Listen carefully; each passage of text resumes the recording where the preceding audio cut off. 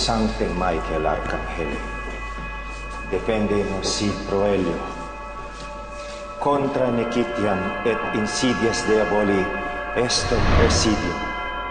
Imperet ili Deus, supplices deprecamur, tu que princeps militia celestis, satanum maliosque spiritus malignus, qui ad perditionem animarum pervangantur in mundo, divina virtute in infernum detrude.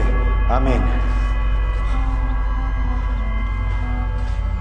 Sancte Michael Arcangele, defende nos si proelio, contra inquitiam et insidias, diaboli esto presidium, imperet ili Deus, supplices deprecamur, duce principis militias celestis, satanum maliosque, Gulo?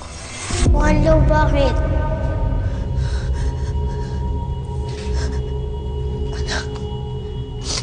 Anak. Anak, huwag mo siya kausapin. Anak, kahit ano mangyari, huwag mo siya kakausapin. Anak, makinig ka sa akin. Please, sabayan mo ako. Magdasal na lang tayong dalawa, ha?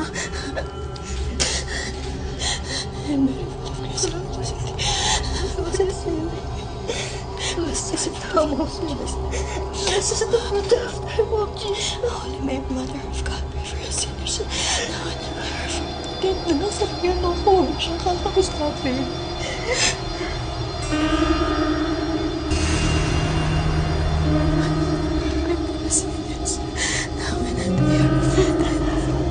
Anak, huwag mo siyang kausapin. Makinig ka sa akin, huwag mo siyang kakausapin, ha? Anak!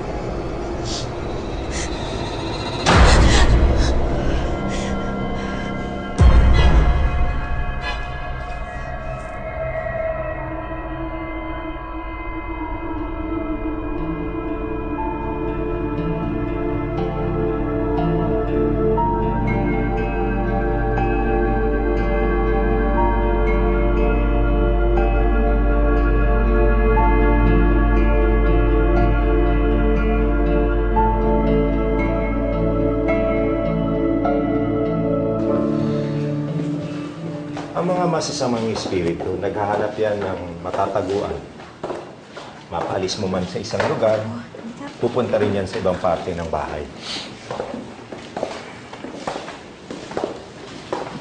Nagsimula tayo sa itaas na mga kwarto papunta dito sa ibaba. Strategic yon para mas mabisa yung pagpapalayas natin ng mga espiritu. Pero Father, sa tingin niyo ba naging successful tayo? Depende yan sa pamumuhay ninyo. Sa ngayon, wala na kaming nakikita o nararamdamang kakaiba. Eh, Wando, nasaan na yung kaibigan mo? Wala na. Ha? Eh, nasaan na siya? Malayo. Praise be to God. Naging successful tayo sa pagpapalayas ng mga elementong gumugulo sa pamamahay ninyo. Ma'am? Oh, nakahanda na po yung merienda. Maraming salamat, Father. Nagpapalik pa kayo. Okay lang po. Gutom ka na. Kakain na tayo. Manahit! Halika na. Let's eat. Halika. One. Tayo.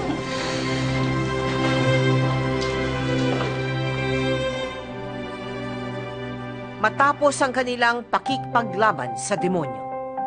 Sumulat ng isang article si Art tungkol sa kanilang karanasan para magsilbing paalala at babala sa ating mga kababayan na ang demonyo ay totoo at nag-aabang lamang ng mga pamilya na maaari nilang gambalain at sirain ang pananampalataya. Saksi ako at ang aking buong pamilya sa isang labanan. Labanan sa pagitan ng kabutihan at kasamaan. May tuturing na isang biyaya ng Diyos ang pagtagumpayan namin ang labang ito. Napagtanto namin na habang tayo ay nabubuhay, ay hindi matatapos ang pakikipagsagupa natin sa kasamaan.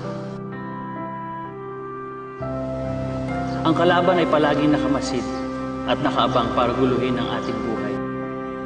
Pero bilang mandirigma ng Diyos, tinawag tayo para magpakita ng kabayanihan para sa kanyang kaluwalhatian. Pero ang pinakaimportanteng patunay ng aming pagtatagumpay sa labang ito ay ang naging epekto nito sa aming pamilya. Nabago nito ang aming buhay. Lalo kaming napalapit sa Panginoon at masasabi kong lalong naging buo at mas matatag ang aming pamilya dahil sa nangyari.